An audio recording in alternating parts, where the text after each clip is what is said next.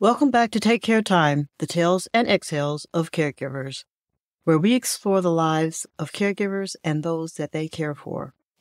In today's episode, we return to the cluttered world of Helen Rutledge, where her son Robert and caregiver Dee Dee are poised at the brink of a significant breakthrough. As Robert arrives from California and begins to dig through the layers of his mother's accumulated life, he's not just sifting through stacks of old newspapers and forgotten trinkets. He's searching for understanding, for reconciliation. Today, as Robert and Dee Dee work side by side, they uncover more than just the misplaced memories.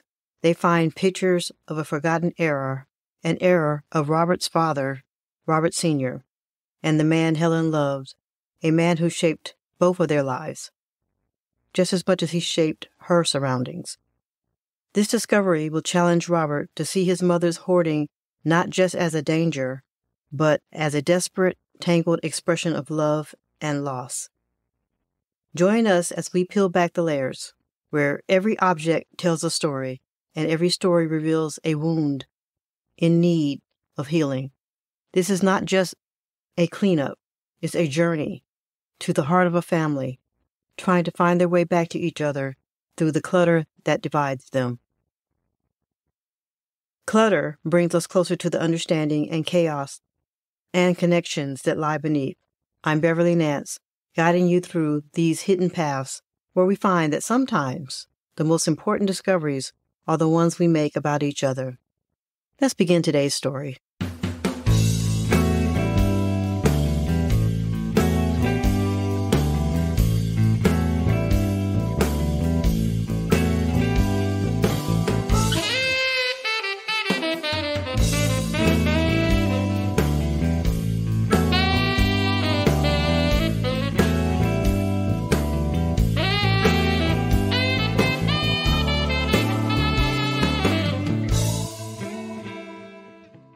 To truly understand the dynamic within the Rutledge household, we must delve into the backstory of Dee Dee, the backbone of Helen's care.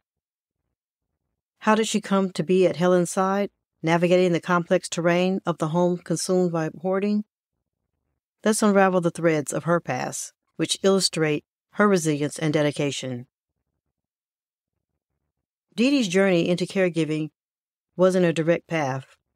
Originally from a small town in upstate New York, she moved to New Jersey in her early 20s, seeking opportunities that her hometown couldn't offer. After various jobs, Dee Dee found herself drawn to caregiving, a field she had never considered but found immediately rewarding. It was during her first assignment with an elderly couple that Dee Dee discovered her natural empathy and the profound satisfaction of helping others.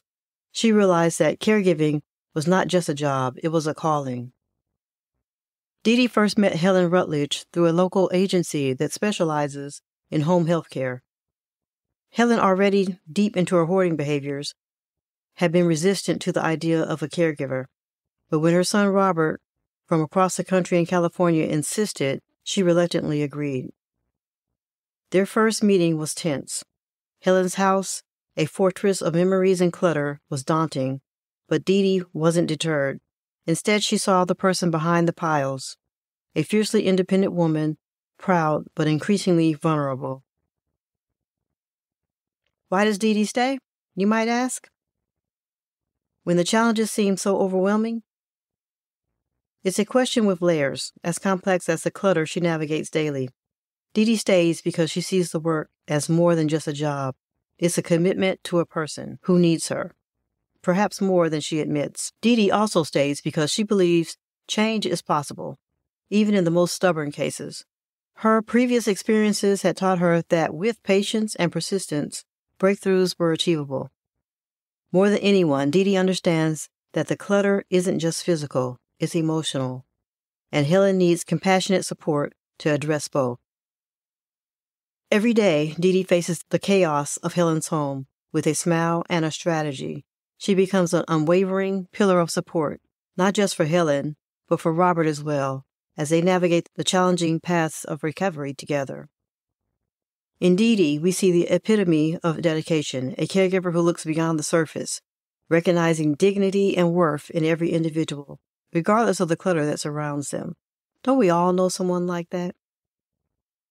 Caregiving is a role that extends far beyond the provision of physical assistance and routine care. It is a profound commitment that demands compassion, resilience, and a deep understanding of human dignity. It's not merely a job, but a vocation that requires a special kind of person, one who can navigate the complexities of human needs and emotions with patience and empathy. Let's explore some of the characteristics of a good caregiver. At the heart of effective caregiving lies the ability to empathize. Caregivers must be able to place themselves in the shoes of those they assist, understanding their fears, frustrations, and desires as if they were their own. This empathetic connection can make the difference between feeling supported and feeling isolated within one's own struggles. Caregivers often work in environments fraught with emotional highs and lows. The daily responsibilities can be physically and emotionally draining, requiring a caregiver to manage stress effectively and maintain patience. The resilience to face each day anew, even after a difficult and demanding days, is crucial. Each care recipient is unique, with their own set of challenges, whether they are physical, mental, or emotional. A caregiver must be adaptable, able to adjust techniques and approaches to meet individual needs. This flexibility extends to problem solving, often thinking on their feet to navigate unexpected situations or crises. Strong communication is essential for caregivers. They must convey information clearly and sensitively to their care recipients, their families, and medical professionals, ensuring that all parties are informed and that the care recipients' wishes and needs are respected and advocated for. Caregiving is physically demanding. It requires not just emotional fortitude, but also the strength to assist with mobility, daily activities, and emergencies. At the same time, emotional strength is vital to manage the personal attachment and sometimes the eventual loss of those they care for. Perhaps most importantly, caregiving demands a steadfast commitment to the well being of another person. This commitment transcends mere duty. It is a profound dedication to improving someone's quality of life, often placing the caregiver's own needs second. This combination of skills and attributes makes caregiving a role suited not just to anyone, but to those with a genuine calling to serve others. The impact of a caregiver on the lives of those they serve is immeasurable providing not only necessary support, but also enhancing the quality of life, preserving their dignity and ensuring their comfort. Robert Rutledge, understanding of the importance of fairly compensating caregivers like Dee Dee is rooted in a deep appreciation for his challenging and multifaceted nature of their work. Recognizing that caregiving is not just a job, but a vital service that enhances the quality of life and offers crucial support, he ensures that Dee Dee is adequately rewarded for her dedication and skill. Robert understands that caregiving goes beyond basic physical support and extends into emotional and psychological care. Caregivers provide comfort, companionship, and often serve as a critical emotional anchor for those that they care for and their families. By compensating Dee Dee fairly, Robert acknowledges the significant value these services add to his mother's life. Fair compensation also addresses the sustainability of caregiving as a profession.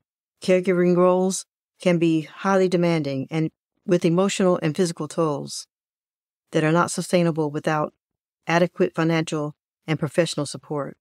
By ensuring that Dee Dee is well compensated, Robert contributes to making caregiving a viable, long term career choice, attracting and retaining skilled individuals in this profession. Fair pay correlates strongly with quality of care, compensation that reflects the level of responsibility and skill involved in caregiving not only fosters a sense of professional pride and motivation, but also improves the overall standard of care that individuals like Helen receive. This financial recognition helps ensure that caregivers remain motivated, appreciated, and less likely to experience burnout. By providing fair compensation, Robert also supports Dee's continued professional development, which is crucial in a field that often requires ongoing training and adaptation of new care techniques and understanding of patient needs.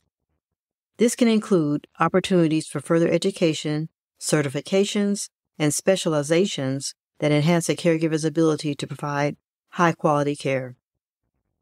Robert views fair compensation for caregivers as a moral imperative. Caregivers perform some of the most fundamentally important work in society, taking care of its most vulnerable members.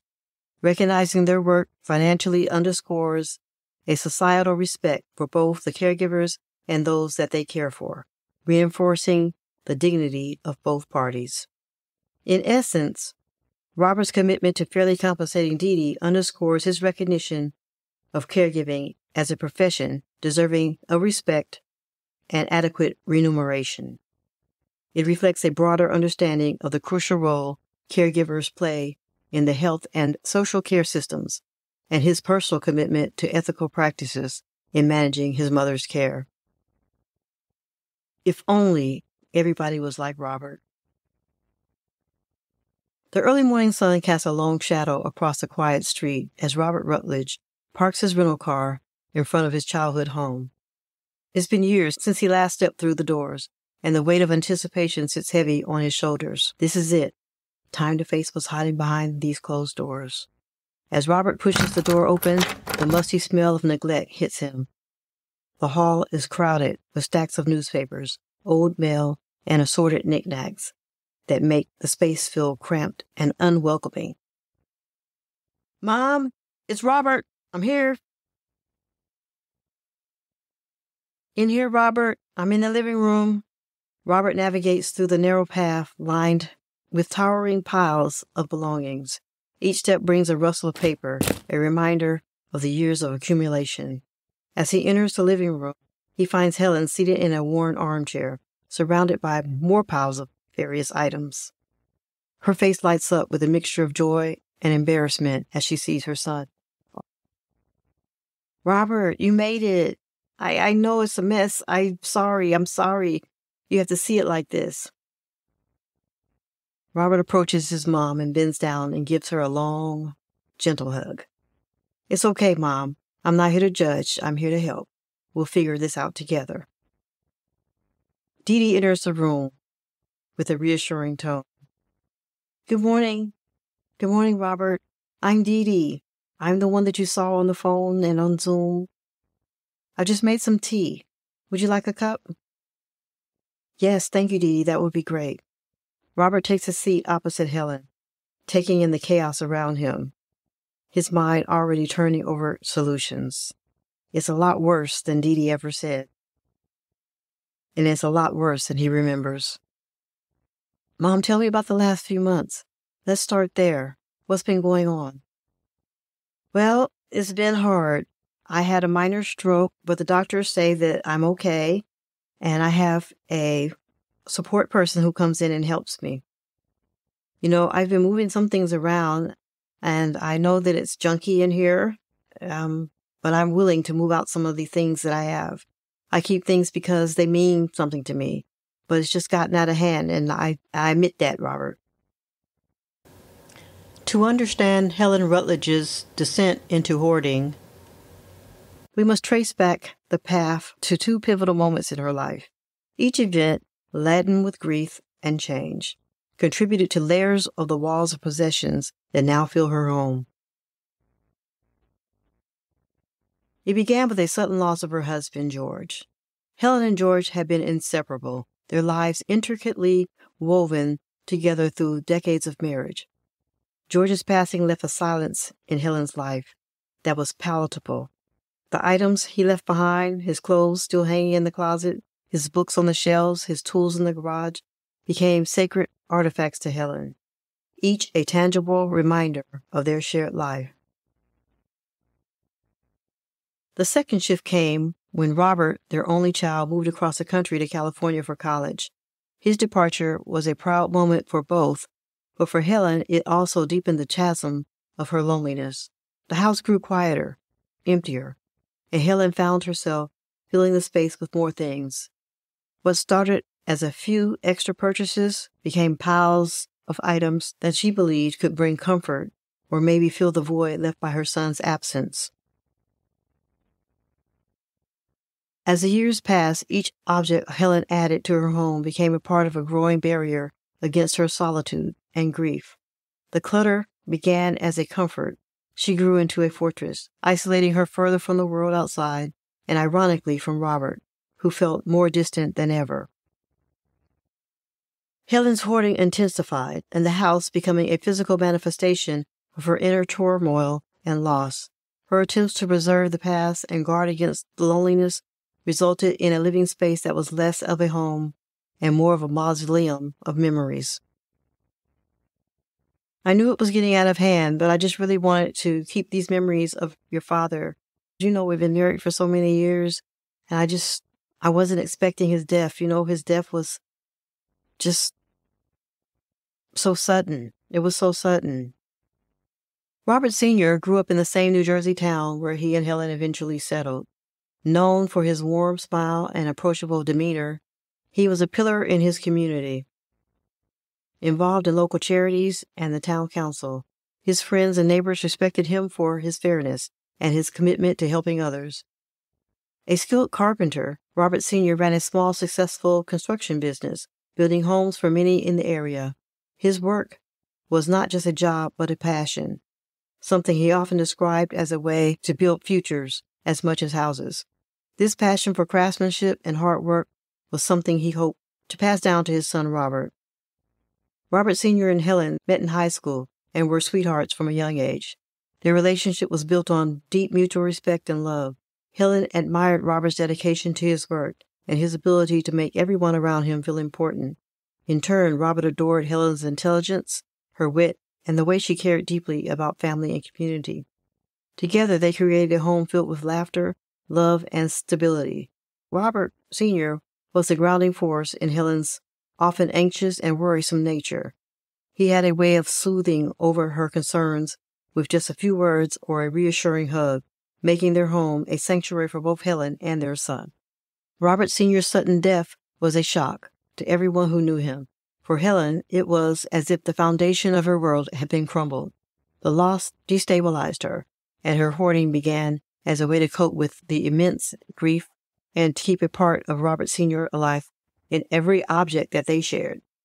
For young Robert, his father was a hero, a larger than life figure who taught him about integrity, hard work, and the importance of caring for others. Losing him at a critical time just as he was about to leave for college in California left Robert with unresolved grief, which complicated his relationships and emotional well being. Even in death, the legacy of Robert Sr. loomed large in the Rutledge family. His values and the home he built with Helen and the memories they created together are ever present. For Robert, coming to terms with his father's death and the impact on his mother's mental health forms a significant part of his journey back home as he seeks to reconcile the past with the present and find a way to help his mother heal. As Robert and Helen settle into a rare moment of quiet, in the cluttered living room. Robert senses an opening to discuss the daunting task ahead. With care, he broaches the subject, mindful of his mother's sensitivities. Mom, do you think we could start to go through some of these things together? Maybe we could sort a little just to make more space? I suppose we could try, but only if we're careful about what goes and what stays. Of course, we'll do it together we can decide what you want to keep, and maybe we can find a better place for some of the other things. It's just there there's so many memories here, Robert. I don't want to lose any of them. I know, and you won't. We'll make sure we keep what's important to you, and maybe by organizing, we'll actually be able to enjoy those memories more. We could even create a special area for the things you cherish most. Mm-hmm. That would be nice. Maybe. Maybe it's time. Robert offers a reassuring smile, grateful for his mother's openness to the idea. Together, they plan to tackle the clutter, ensuring that each step respects Helen's emotional ties to her possessions, while making her home safer and more livable. This careful respect approach underlines the delicate balance of managing a hoarding situation with empathy and understanding. As Robert, Dee and Helen wrap up a productive day of sorting and decision making, they start to prepare for the next steps. This feels like a good start, Mom. How do you feel about what we've managed to sort through today? It's hard, but I'm glad we're doing it. It feels lighter somehow. You did great today, Helen, Dee Dee says. Everything is ready in the garage for the disposal company. They'll come by first thing tomorrow to clear it out. Speaking of tomorrow, Robert says, I was thinking we could start on some of Dad's things. There are still a lot of tools and books. Maybe we could keep a few special items as keepsakes, and we might consider donating the rest to charity maybe one that he would have supported. Helen nods. Your father always wanted his tools to be used by someone who appreciated them. Donating them sounds like something he would have liked, and maybe we can find a nice place for his favorite books and some of his personal items here in the house. That's a wonderful idea, says Dee Dee. I can help you find a local charity that will accept these type of donations. It would be a nice way to honor his memory and help others at the same time. I'll make a list of the tools and the other items we find. We can go through them together, Mom, and you can help decide what you'd like to keep as keepsakes. That would be good. I like that. As they finish organizing for the day, the mood is cautiously optimistic. They have managed to make tangible progress that's overwhelming Helen, respecting her emotional process while also making practical decisions. Robert's proposal to handle his father's items sensitively, focusing on honoring his memory while helping the community, reflects a thoughtful approach to dealing with their personal belongings that hold significant sentimental value. As Robert lifts the last box to move it to the garage, something catches his eye an old, somewhat dusty photo album tucked away beneath a pile of miscellaneous papers. Curiosity piqued, he sets the box down gently and retrieves the album, brushing off the dust with the back of his hand. What's this? I don't remember seeing this before. He flips open the cover, and his eyes are immediately drawn to a black and white photograph of his father, Robert Sr., looking much younger than he ever remembered him. His dad is laughing in the photo, his joy evident even in the still image. As Robert turns the page, he finds more snapshots of his father, fishing trips, family barbecues, and several of him holding a very young Robert up on his shoulders. Mom, look at this. What is it, Robert? Robert shows her the album. Her hands tremble slightly as she takes it from him, her eyes lighting up with recognition and a flood of memories. Oh, I haven't seen this in years. Your father put this together one winter. He was so proud of it. Together they sit down, the box and its contents momentarily forgotten. As they page through the album, each photograph prompts a story from Helen, some that Robert has never heard and others that are new to him, adding layers to his understanding of his father's life and their family history. I never knew Dad was into photography this much. He loved capturing moments, said they were his way to hold onto memories forever. After he passed, I, I couldn't bear to look at them. It hurt too much. As they share this intimate moment, Robert realizes the importance of these items, not just as clutter, but as the crucial pieces of his family's emotional fabric. This discovery reinforces his resolve to handle the sorting process with care, ensuring that while they make physical space in the home, they preserve the memories and legacies that truly matter. Let's keep this album out. Maybe we can go through it together over dinner sometime. You can tell me more about these stories. I like that very much, Robert. This tender moment not only brings Robert and Helen closer, but also gives Robert a deeper appreciation of the task at hand, transforming a home filled with the past into a space that respects those memories while making room for new experiences and a safer environment. As Helen and Robert continue to leaf through the photo album, Dee Dee stands up, noticing that deepening emotional moment between mother and son. I'll let you two have some time together. It looks like you have a lot to catch up on. I'll be back tomorrow to help continue with the sorting. Thank you, Dee Dee. Today has been more than I expected. I appreciate your help, dear. We couldn't have gotten this far without you. See you tomorrow. Of course, Robert. I'm glad you are here. Tomorrow is another day, and we'll tackle it together. With a final nod and a warm smile, Dee Dee quietly exits, leaving the door slightly ajar behind her. Her departure is tactful, giving Helen and Robert the space to continue reconnecting over the old photographs without interruption. This moment alone, without the practical task of sorting and organizing, allows them both to absorb the emotional significance of the day and fortify themselves for the work ahead. As Dee Dee walks to her car, she reflects on the progress made, not just in clearing the physical clutter, but in bridging the emotional distance that had grown between Helen and Robert. She drives away with a sense of fulfillment, knowing that her role is not just about organizing a house, but about facilitating healing, and reconciliation within families she serves.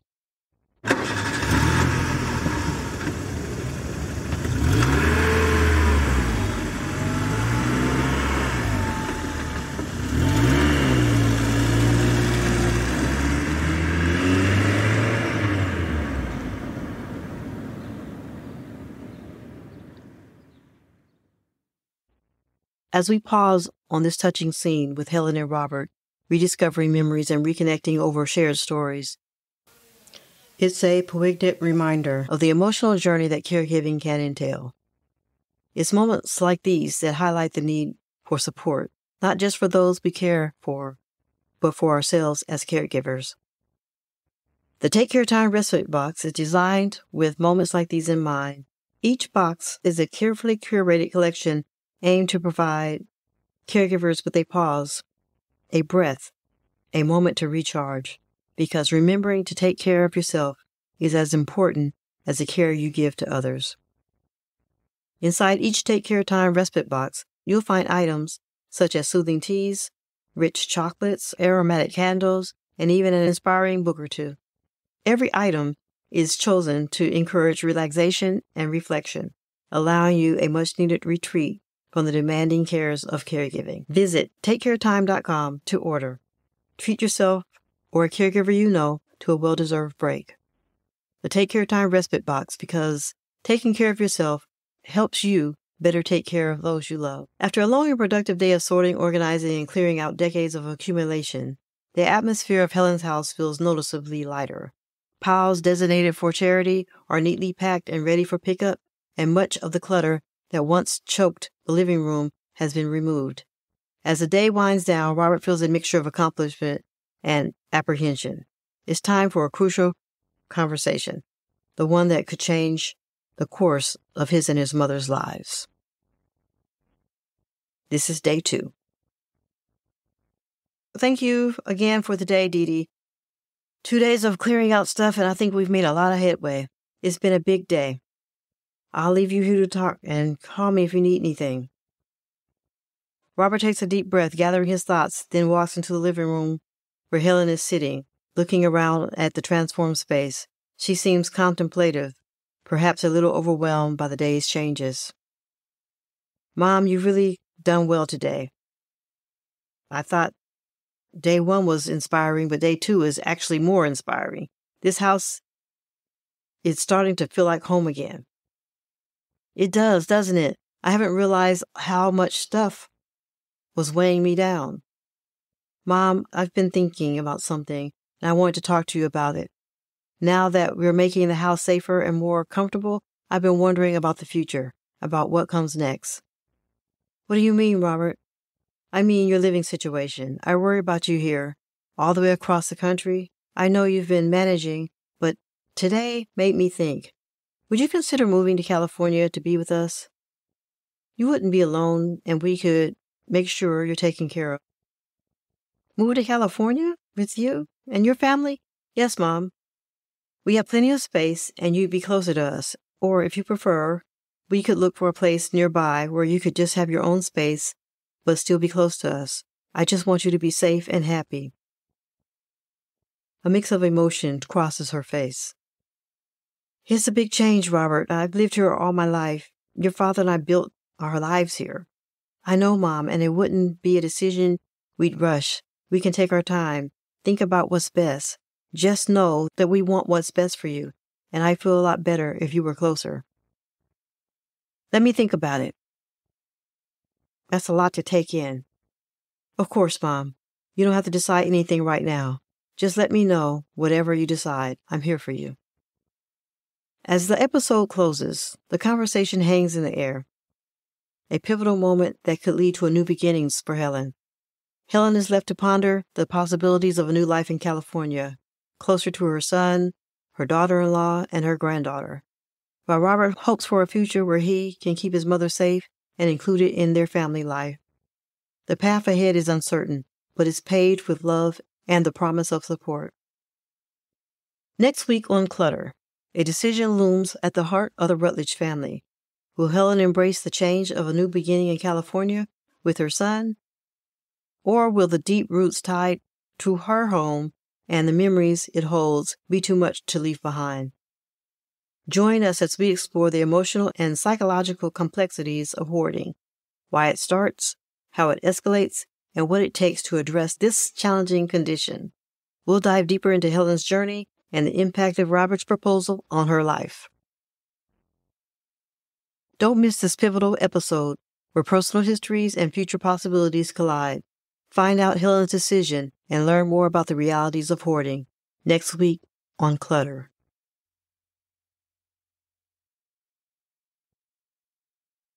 Please note that this episode features reenactments and dramatized details. While in most cases the exact verbatim dialogue may not be known, all dramatizations are grounded in research. To respect the privacy and confidentiality of individuals involved, names and some locations have been changed. Till next week, take care.